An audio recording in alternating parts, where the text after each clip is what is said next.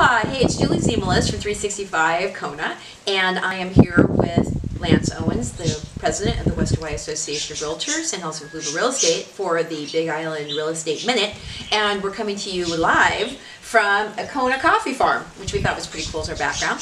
So um, today we're going to talk about condos. So I, I get a lot of questions from people who want to come to the Big Island and buy a property and they look at the prices sometimes of what's happening in West Hawaii and sometimes they say, hey, if I can't buy a single family home, what about buying a condo? So I'm going to ask Lance some of the questions that I get a lot from my readers. So one of the first ones is, Lance, can you tell us a little bit about the homeowners association fees um, that people have to um, contend with when they're looking at the price of a condo when they're buying it?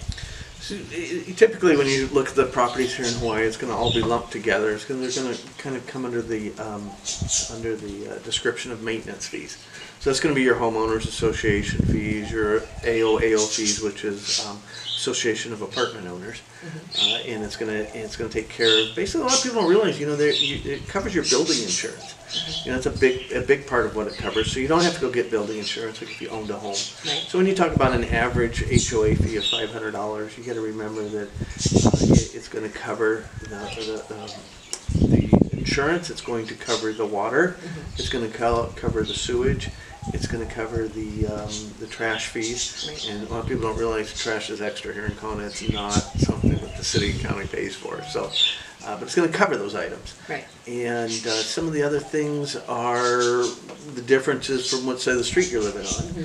And if you're on the makai side of the street, and the ocean side, if you're on that side of the street, you get a lot more wear and tear on the buildings, that ocean water, just not from from waves crashing into the buildings, but just from the salt air and what's happening to it. It's, doing Right, a lot. right. it's amazing just being on the other side of the street how much less damage is done on And some people might not know coming from the mainland that um, ocean air is actually very corrosive. So not only does it affect the buildings, but it also affects appliances, your car, a lot of different things, right? Yeah, yeah.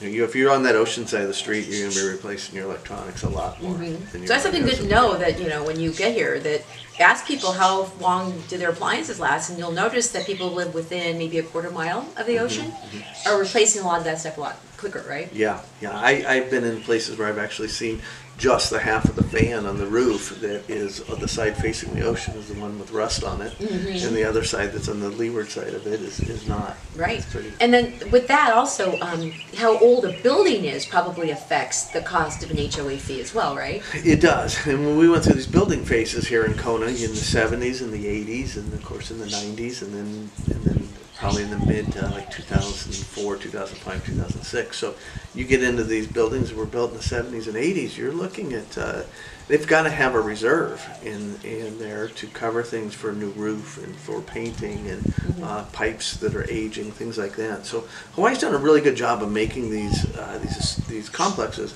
accountable for for uh, the future so that we don't get hit. You know 10, 10 years ago you saw a lot of complexes get hit with uh, big assessment fees. Uh, one of them was Keauhou Resort they had to replace all the lanais and I think they had to do some roofs and things like that and they hadn't been saving up for it.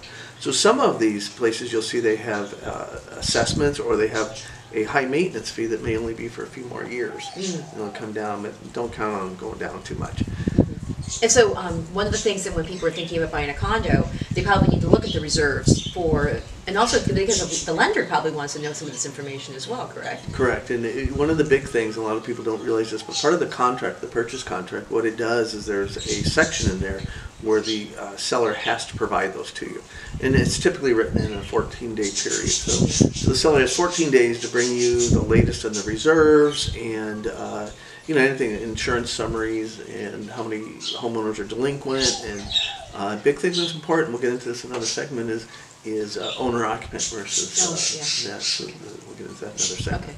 Um, one of the things too that I've been asked is um, when you're looking on the multiple listing service to buy a home here, uh, some people are wondering why is it so hard to find what the HOA fees are for the condos? So th- that has a lot to do with the third party app. So a lot of people are looking on Zillow and they're looking in places that uh, they're pulling it in from 500 different MLSs across the country. So they don't, they're not compatible with everybody. So what happens is uh, you're really better off to look, if you're looking at for property in the Big Island, you wanna look at something that's directly uh, connected to the Big Island uh, Real Estate MLS. Because it's very clear in financial detail. So you'll So look for a what's the, tab. um, what's the website on that? Uh, Hawaii Information Service is the, is, actually, that's our site, so Hawaii Living, I think, dot com. HawaiiLiving.com? Yeah, yeah. Okay, so So- not Zillow, but HawaiiLiving.com. Yeah, and then we'll correct that in the remarks if I'm wrong on that, because I don't go to the public site very often. Yeah, so sorry, okay. But my site's Hawaii Information Service, and uh, that has, it's spelled out everything, you know, some of our things too with laws, a lot of people don't understand.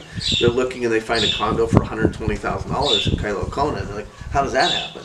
And it's because it's leasehold, and again, leasehold versus fee simple, be a whole nother segment we can talk about this on, but it's important that if you see LS or FS on it, Mm-hmm. uh, FS meaning fee simple, meaning your condo complex uh, actually holds title to the land. Right, so therefore you basically Yeah. own it, You own it, whereas yeah. leasehold, basically you're, you're just like, you're just there for a while, you don't own the land itself. And we'll, Right. we have more of these uh, links on our website. So, um, we're going to wrap this segment up right now, and we're going to do a little bit more in-depth condos in the future, but for right now, thank you very much, Lance, Thank you. for being part Thank of you, our real estate minute. All right, thanks, guys.